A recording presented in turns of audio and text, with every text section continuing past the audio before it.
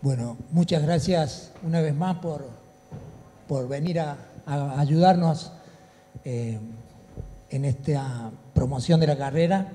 Este, voy a hablar, antes después si le queda alguna duda, vamos eh, resolviéndolo. La carrera se realiza el sábado 15 de octubre en el volcán. Eh, cambiamos al día sábado a través de por los pedidos de algunos corredores eh, que nos pidieron si podíamos adelantar la fecha para poder tener un día de descanso antes de comenzar la semana. Nos pareció una buena idea y este año la carrera se realiza por primera vez un sábado. También el horario lo cambiamos, en vez de a las 9 de la mañana va a ser a las 10 de la mañana, puntual, la largada. Este, tenemos otra variación más, tenemos el, año pasado todas las carreras hemos tenido 5 y 10 kilómetros, en esta oportunidad hemos subido la cantidad de kilómetros, van a ser 12 y también un poquito la dificultad de la carrera. Este, el circuito lo pueden ver y se puede estudiar en Corre el Diario 2022, en la página en internet, están los, dos circuitos. El de 5 kilómetros se mantiene tal cual fue el año pasado, el que tiene una variación. El de 12 kilómetros que cuando llegan al casino, van a, los corredores tomarán hacia el trapiche hasta la intersección con la ruta los Puquios, van a agarrar la autopista de los Puquios nuevamente hasta la circunvalación que va a Merlo o al volcán. Toman, retoman hacia el volcán hasta la avenida Pringles nuevamente, ruta 20 y ahí vuelven al hotel. Es decir, no dan dos vueltas, sino que va a ser un circuito nuevo, el de 12 kilómetros. Este, no sé, ¿quieren preguntar? Eh, para, eh, para, inscribirse entran a la página que les dije, Corre el Diario 2022. Este, ahí hay un link donde van a linkear, van a Eventbrite y ahí tienen para elegir los 5 o los 12 kilómetros. Los 5 kilómetros salen 3.200 pesos y los 12 kilómetros 4 mil pesos. Eso incluye un kit de hidratación, este, la remera, la pechera y el chip. Nosotros este, intentamos fidelizar con nuestros clientes la relación, entonces en un momento pensamos en realizar actividades que estén un poquito fuera de lo que hacemos siempre, surgió entre esas ideas, hemos hecho otros eventos también, surgió entre esas ideas la de la maratón, realmente eh, nos gusta eh, la respuesta de la gente, nos gusta la, planificación de la carrera y después eh, se mantiene en el tiempo por el pedido de los atletas, que ya empiezan a mitad de año generalmente a preguntar si vamos a realizar un año más.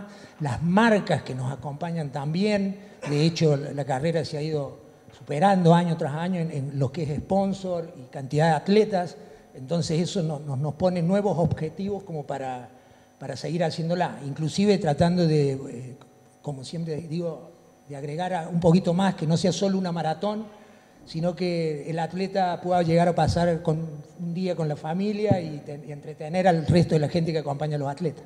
Tuvimos varias consultas y sobre el circuito se iba a mantener o no. La verdad que intentamos siempre hacer algo nuevo para darle al atleta un, plus y eh, decidimos cambiar el circuito justamente para, para, para poder que los atletas, sobre todo los que corrían los 10K, eh, subirle la dificultad. La verdad que es, bastante lo que rodea una maratón, lo que es esa hora, hora y media que, dura, lleva meses de preparación.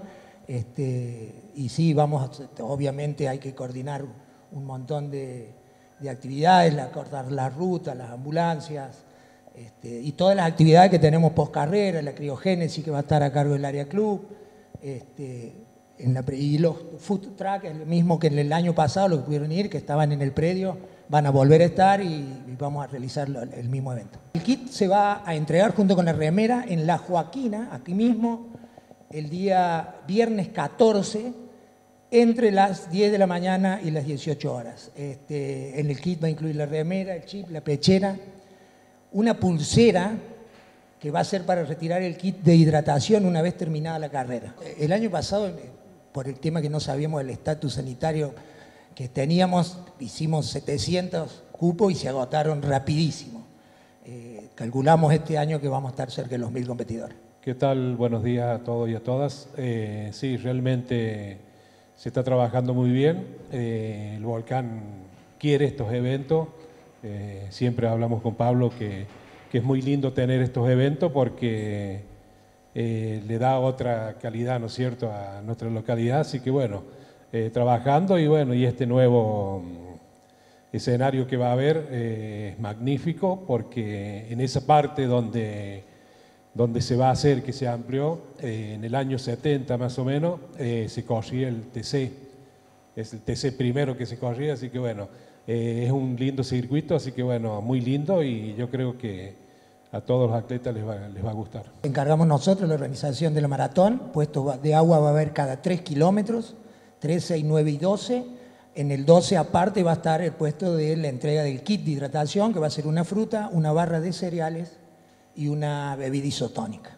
Para nosotros es algo muy bueno porque que se elige el volcán entre otros pueblos es muy lindo, ¿no es cierto? Tener la carrera y y bueno, y sacarla de, la ciudad de San Luis y llevarla a la zona serrana significa mucho por, por todo, ¿no es cierto?, lo que desarrolla el, tema de la, de la, de carrera y del paisaje que tiene la localidad. Así que bueno, contento porque eh, el volcán eh, se merece tener estos, estos eventos. He estado averiguando gente para hospedar, ¿no es cierto? Y hay algunos que ya han reservado eh, que son gente de otras localidades, y que bueno, eh, eso también fortalece al cabañero, ¿no es cierto?, porque es como que le da una cuotita de inyección de, presupuestaria para ello. Estamos trabajando, es más, ahora ya comienza la publicidad en la radio nuestra que tenemos, eh, de que, bueno, concientizar de que cada uno que vaya lleve una bolsita y, y lo que consuma lo vuelva a traer de vuelta a su lugar para, para dejar el pueblo limpio como lo tenemos día a día. El tema de la hidratación, en este año vamos a, vamos a repartir el agua en bolsas, en bolsitas. Entonces, eh, sí, vamos, con gente, la organización tiene una logística para después recoger todas las bolsas que queden y, dejar eh, el camino y la ruta tal cual estaba. Eh, esta, como decía el señor intendente, eh, tuvimos la posibilidad de estar en ciudad y en todas las ediciones que hicimos y descubrimos el volcán fue algo nuevo hasta para nosotros mismos porque eh, no, se, conjugó una carrera donde tenía un circuito, como decir, de trail, pero de asfalto, que fue lo que es esa combinación lo que gustó mucho a la gente, y por la cantidad de competidores eh, se va a estar utilizando todo lo que sean chips descartables, que es importante Em, poner este punto porque si bien la remera va a ser de uso obligatorio, eh, cada corredor va a estar con un número identificatorio. Quiere decir que eh, al momento de la acreditación ya la persona ya tiene asignado un número que no lo puede cambiar porque ya eh, cada chip se asignó a ese número y ese número pertenece a una persona. Cosa que automáticamente va a tomar los, tiempos. En, los, el año pasado como eran dos vueltas del circuito, se tomaba por vuelta, lo que hace, eh, mejora la, eh, la, calidad del tiempo, eh, sabiendo que el corredor pasó dos veces por la, alfombra que toma los tiempos. Quiere decir esto que en forma inmediata y si el corredor se inscribió bien y si el corredor no cambió su número, eh, el tiempo va a ser eh, inmediatamente eh, un tiempo extraoficial para corroborar en unos minutos y poder premiar qué es lo que queremos hacer, porque hay tantos competidores y tantas categorías que sea ágil y precisa la entrega de kit, de premio.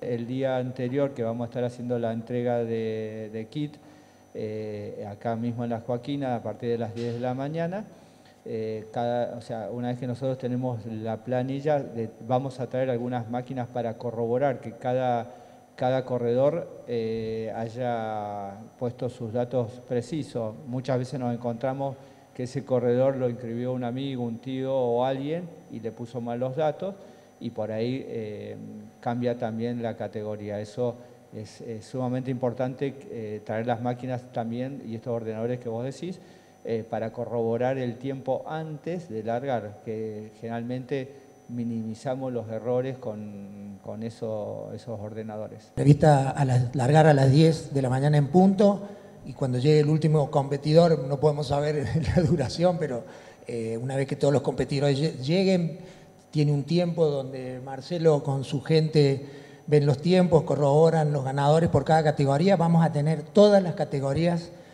que la Federación de Atletismo de San Luis eh, nos da, porque la Federación avala la carrera. Estuvimos trabajando junto con la presidenta, con Liliana, en, la realización del circuito, porque realmente eh, los circuitos, digamos, los hacemos en conjunto con los corredores y con la Federación de Atletismo para, para no cometer errores. Obviamente, hasta que que vayan viendo, nos pasó la carrera anterior, en las dos o tres primeras semanas se agotaron los cupos.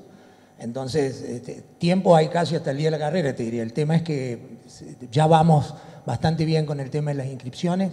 Eh, apenas salimos a la venta ya teníamos 150, 200 corredores inscriptos y llevamos dos días. Así que eh, si sigue ese ritmo, eh, yo aconsejaría que se anoten lo más rápidamente posible.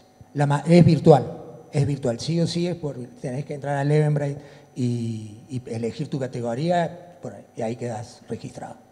Va a haber ambulancia, vamos a tener personal médico, desfibrilador, este, vamos a estar muy atentos a ese tema. justo veíamos que hubo un par de maratones que tuvieron un par de este tipo de eventos, así que estamos preparados, lo tenemos en cuenta.